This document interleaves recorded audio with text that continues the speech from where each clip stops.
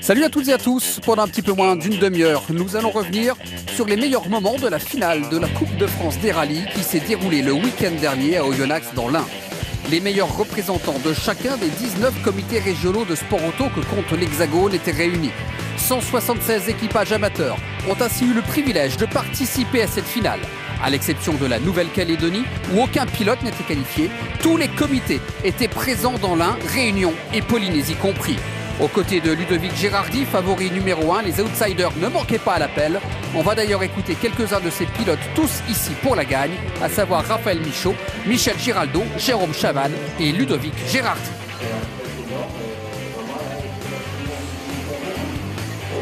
C'est difficile de se prononcer, on espère rentrer au moins dans les 10, après on verra, et premier du F2000, mais bon, il y a quand même beaucoup de concurrence. La voiture est dépassée, alors euh, voilà. Et il y a un petit peu de manque de connaissance du terrain, mais euh, c'est d'essayer d'être euh, dans les 5 premiers. On va essayer déjà de se battre pour le- la, la- la première place des deux roues motrices.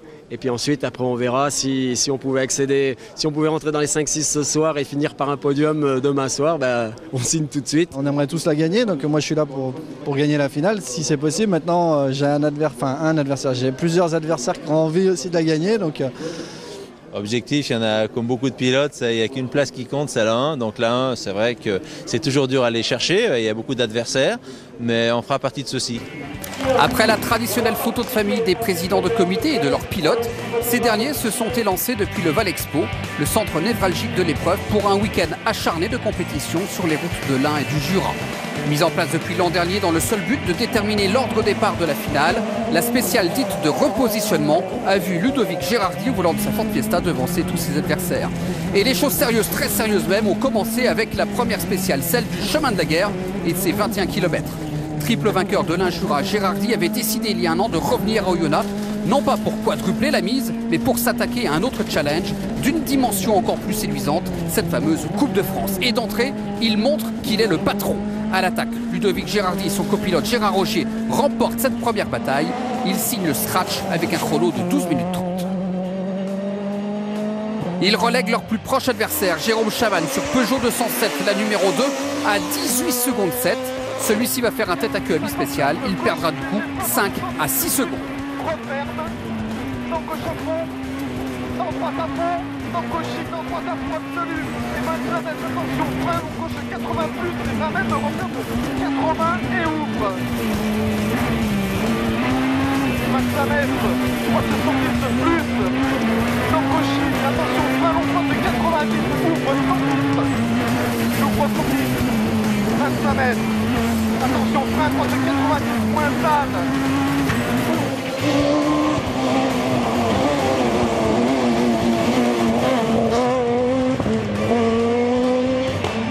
Michel Girardot sur sa Peugeot 306 Maxi numéro 7 signe le troisième chrono de cette première spéciale. Il finit toutefois déjà assez loin de Girardi à près de 30 secondes, à 26 secondes 7 très précisément. Giraldo qui va connaître quelques problèmes d'adhérence en ce début de rallye. Puis dans la deuxième spéciale, la plus courte de la finale, celle du Poisa, longue seule de seulement 5 km, Ludovic Girardi se montre une fois de plus le plus rapide.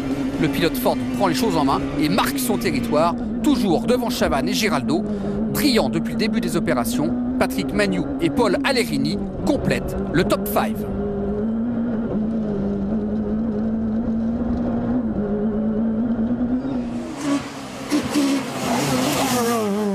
Paul Allerini, justement, au volant de sa Peugeot 207 numéro 6, que l'on retrouve dans la troisième spéciale ce vendredi.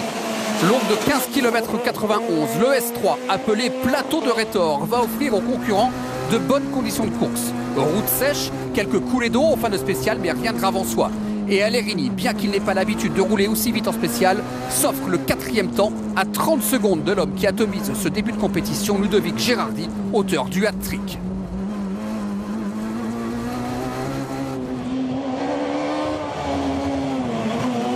Si tout sourit à Gérardi, c'est loin d'être l'extase pour Romain Martel, ici au volant de sa Peugeot 207 numéro 3.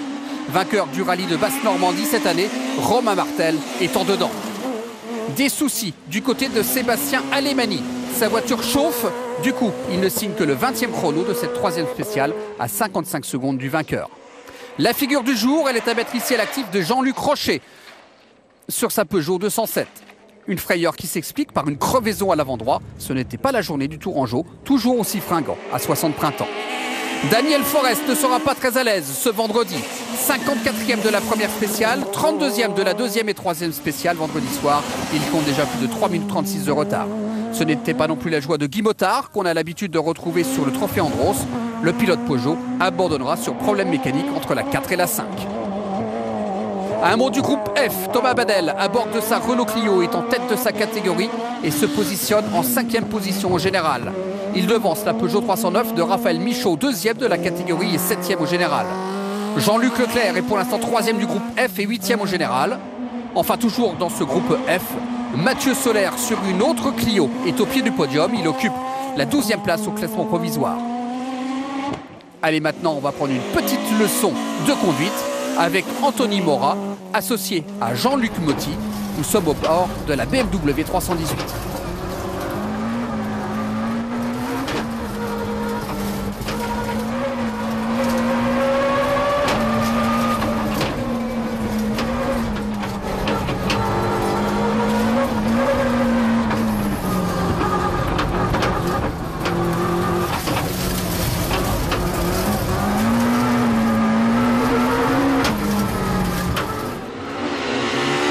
À l'issue de cette première journée en Super 1600, cela se passe plutôt bien pour Patrick Magnou. Il est sixième au général et premier de sa catégorie devant la Peugeot 206 numéro 50 de Steve Mouret. Et puis dans le groupe N, la Mitsu de Michael Lobry est en tête de sa catégorie le vendredi soir. Juste devant la 97 de l'équipage Frédéric Michaud-Maillet, Denis Pierrefeu sur Clio. Et une autre Mitsu, la numéro 35 de David Molas, troisième du groupe et 14e au général. Derrière, en embuscade, on surveille la Renault Mégane numéro 37 de Romain Salinas.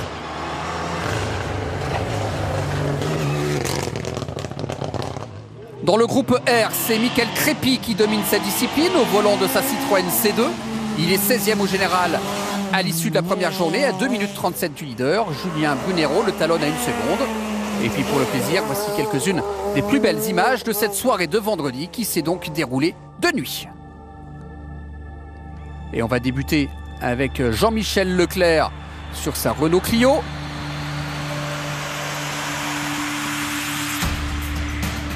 Suivi de Romain Martel sur sa 207 Peugeot.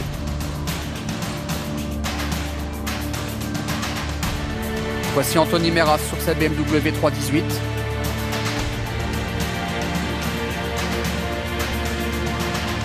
La belle figure de Sébastien Alemani sur Peugeot 207.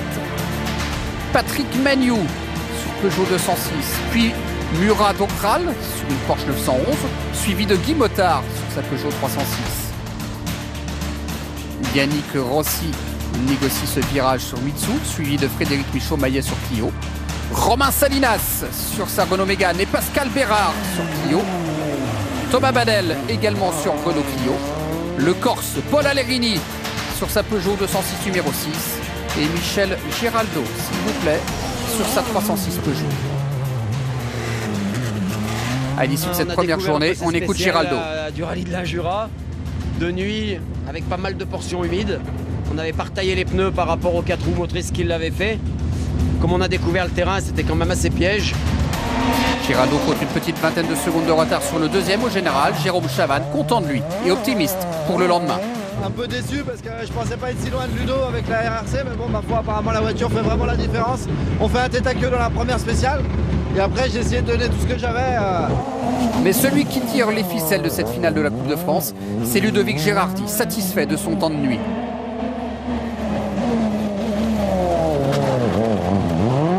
Alors, on a vraiment c'est le temps, du moins, c'est du très vite. Bon, je sais que ça prend 210, on a dû plusieurs fois 210 au rupteur. Donc euh, on pouvait pas aller plus vite là. Je pense qu'on a fait une très bonne étape de nuit. Le lendemain de bon matin, sous un soleil radieux, place à la deuxième étape. Ce seront les trois mêmes spéciales que la veille, mais à parcourir deux fois.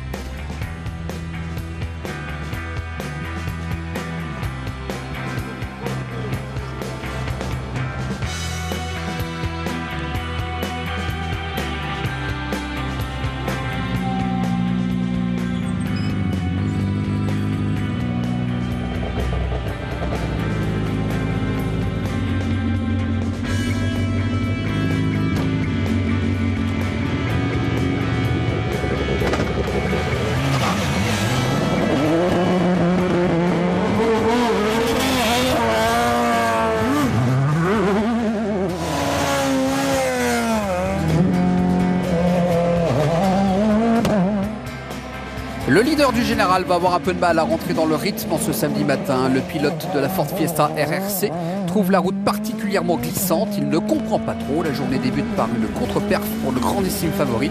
Il perd 15 secondes mais conserve cependant sa position de leader. Et voici une petite promenade matinale en sa compagnie.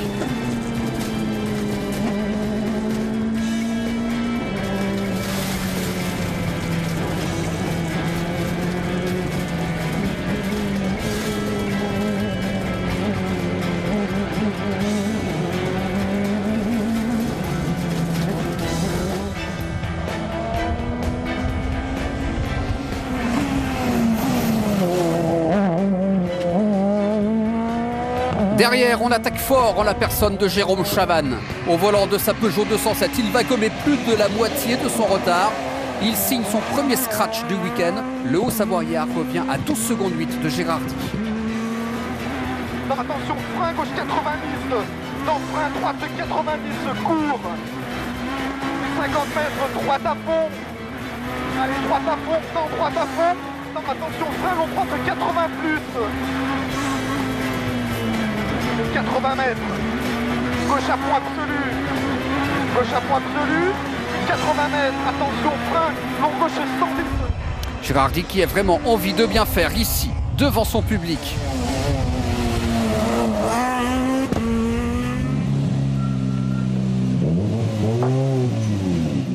Suis chez moi, j'ai envie de faire plaisir à plein de gens, j'ai envie de soutenir l'US euh, Oyonnax rue du top 14, j'ai envie euh, de faire bien pour euh, mon département, ma région, puis que j'aime et que j'adore. Et, et je ferai le maximum pour porter nos couleurs parce qu'on est là et je vais les porter jusqu'au bout. Chavannes lui donne son maximum pour rester au contact. Pour le moment, il est deuxième au général. On s'est, on s'est appliqué, on a essayé de pas trop faire de bêtises. Et... Bah, ça paye, c'est sympa, on a fait un bon tour quand même, mais bon. Troisième de la spéciale donc, Michel Giraldo, vainqueur du dernier rallye des Bauges de la 29e édition du rallye de Picodon. Michel et son épouse Marielle gardent le cap, même s'ils ont connu ici quelques soucis d'adhérence.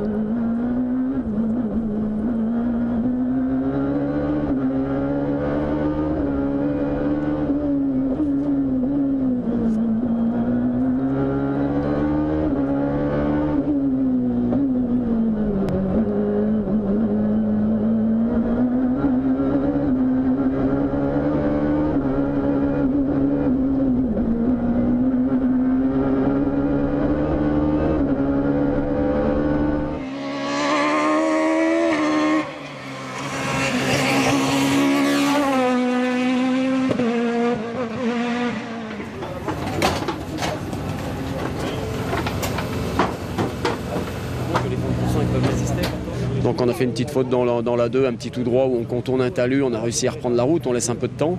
Et puis dans la dernière, euh, des sous-bois trempés, trempés, on s'est fait surprendre deux, trois fois à être sur des portions sèches et rentrer dans les bois.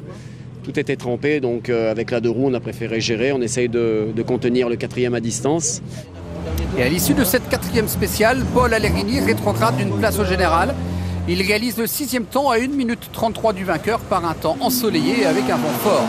Sur une route sale sur les 6 ou 7 premiers kilomètres, le Corse regrettait une fois de retour aux côtés de son assistance d'avoir voulu faire le show pour les spectateurs.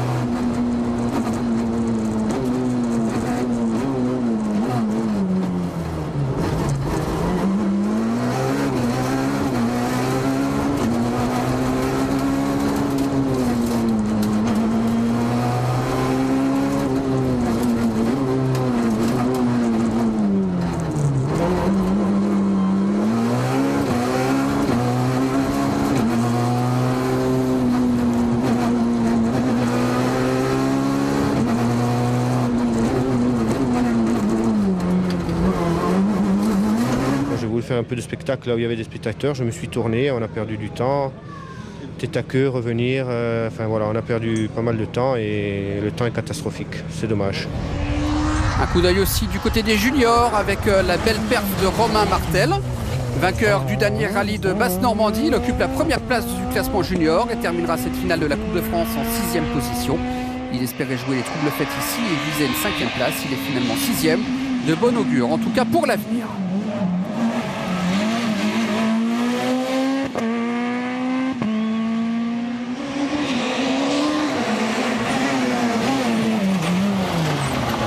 Dans le groupe F, Thomas Badel et Aurélie Badel sont en tête. Ils gèrent désormais pour conserver leur première place au général en F2000.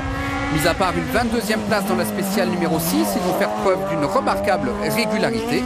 Lors du rallye des Monts et Coteaux, Thomas Badel avait impressionné tout son monde avec une nouvelle caisse pour sa Clio. Ici aussi, il a fait vibrer les oreilles des spectateurs. Il va finir quatrième au général et premier de sa catégorie.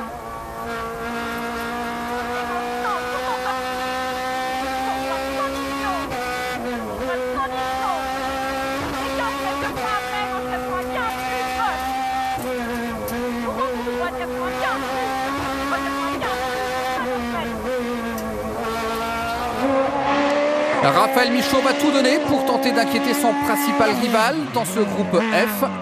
Mais en ce début de journée de samedi, le pilote de la Peugeot 309 numéro 85 sera trop sur la défensive. Sur la spéciale numéro 7 un peu plus tard, il ne sera jamais dedans. Dans la huitième, il va tout perdre dans le chemin de la guerre. Il roulera bien dans la dernière, mais Thomas Badel avait pris trop d'avance.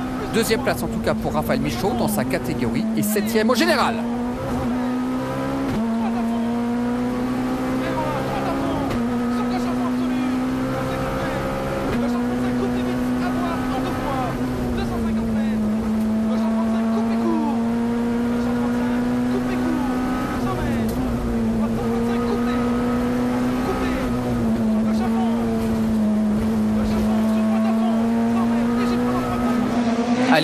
Les réactions des deux protagonistes de ce groupe F, Thomas Badel et Raphaël Michaud. Tant mieux s'il n'arrive pas à suivre le rythme, surtout venant d'un quelqu'un comme euh, Raph Michaud qui est quand même euh, vraiment une référence en F2000. Moi je le considère euh, comme le meilleur euh, dans la région avec les- tous les rallyes qu'il a gagnés au scratch. Le problème, c'est que dans le chemin de la guerre, la petite, j'arrive pas à me libérer, je me lâche pas, alors donc euh, j'en prends énormément. Et il y a que dans la dernière, j'arrive à me lâcher parce qu'elle est hyper rapide et j'aime bien le rapide. Jean-Michel Leclerc monte sur la troisième marche du podium avec sa Renault Clio. Il finit 9 au général.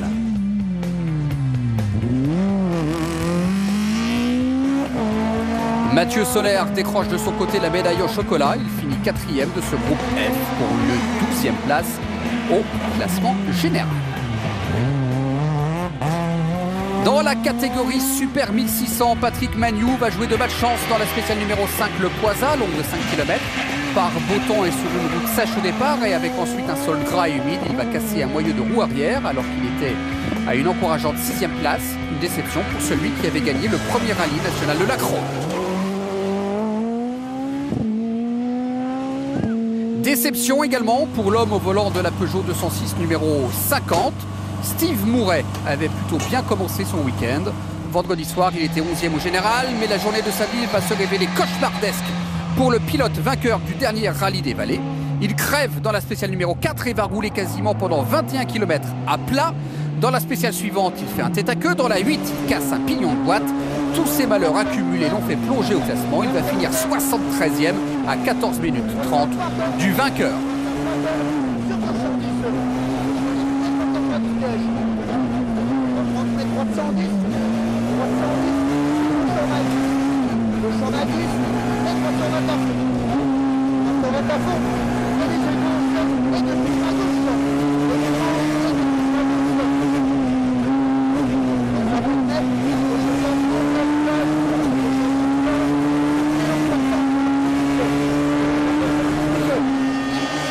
On s'intéresse maintenant au groupe N.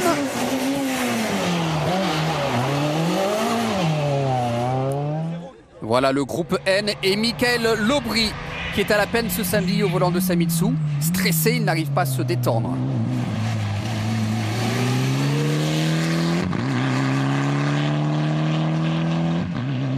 Euh, ouais, ça a été difficile ce matin. C'est vrai qu'hier soir on était en tête.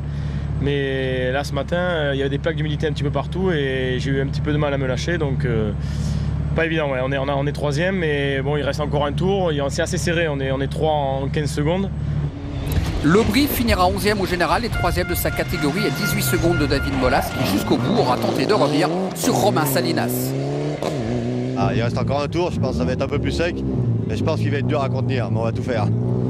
David Molas va tout donner dans la spéciale 5. Cela glissait beaucoup trop à son goût. Puis dans la 6, il était un peu trop sur la défensive. Dans la 7, il fera un tout droit. Finalement, il finira deuxième de ce groupe N et dixième au général. Une performance extraordinaire cependant. Court, 121 court, 50 mètres. Droite 130, court gauche 130 rail. Dans attention, droite 130 rail. Dans attention, droite 101, court gauche gauche X, 30 mètres. Droite 130 plus plus, court long gauche 140, 15, 130. Car l'homme de ce groupe, c'est lui, Romain Salinas. Avec seulement deux roues motrices dans ce groupe de voitures de production, il domine le début de journée. 123 rails, 123 rails, 100 mètres, 100 mètres. Long gauche à fond, court droite. Dans la 2 et la 3 de ce matin, on fait deux quatrièmes temps scratch, donc c'est c'est beau euh, avec la Mégane. euh, voilà, donc euh, là c'était une histoire de confiance, les notes sont bonnes, donc on va attaquer le dernier tour pour, pour essayer de maintenir la, ben, la- la- la- la place du groupe N. hein. Des victoires en beauté de Salinas dans ce groupe N et cerise sur le gâteau. Huitième au général, donc dans le top 10, à 4 minutes 17 du vainqueur. 160 mètres, 130 plus, 150 mètres. Long gauche 140. Long gauche 140. Bon, bravo Romain. Bravo. Ça devrait être bon. Ça doit être bon, ouais. Merci euh, la caméra. Ouh. Bon, combien ils font? Euh, gagner euh, une finale, euh, gagner un groupe N, euh, après euh, avoir gagné le trophée Twingo l'année dernière, euh, c'est, voilà, deux- ça fait deux années euh, magnifiques euh, pour nous. Donc euh, maintenant, ben, on va esp- espérer euh, trouver du budget pour rebondir l'année prochaine euh, dans, une formule promotion ou autre euh, pour euh, ben, essayer d'évoluer encore et encore. Un petit détour par le groupe R cette fois-ci. Michael Crépy n'est pas très à l'aise sur la 5 et dans la 7, alors qu'il était sur le podium, il tape une pierre et crève. Il finit 49e au général, 9e du groupe R. Un groupe gagné par la famille Bérard, Pascal et Caroline. Le père et la fille forment un duo détonnant au volant de leur Clio numéro 15. Ils vont finir 13e au général.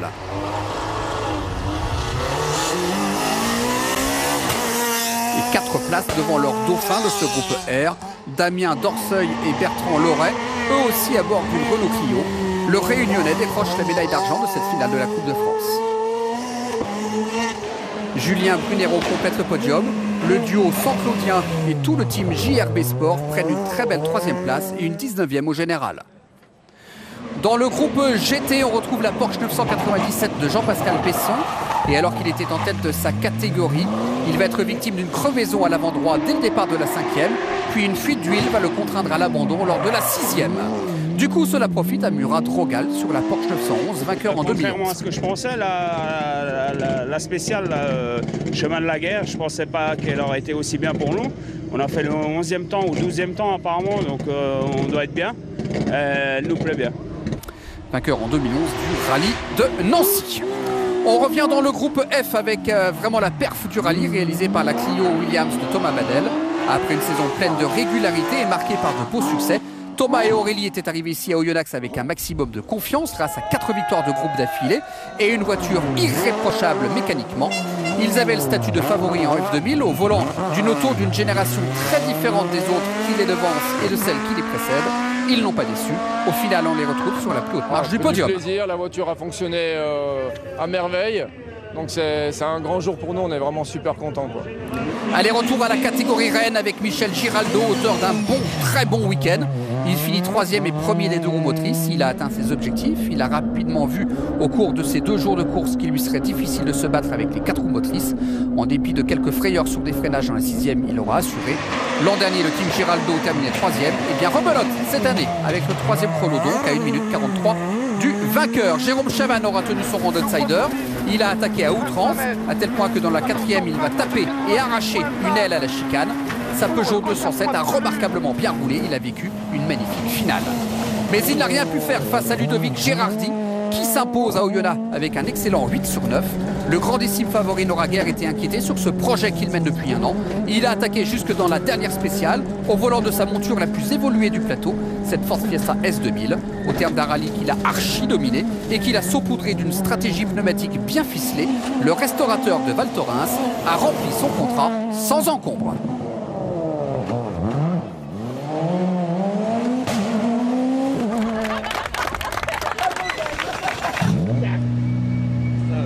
Je l'ai T'as une année, mon gars.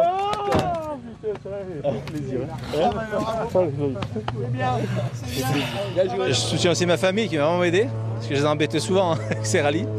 Mais là aujourd'hui, euh, toute l'équipe, tout le monde, c'est... puis c'était deux rallyes par an avant, et ça en a fait 8 pour euh, se qualifier. Et en plus, on gagne chez nous, à la maison.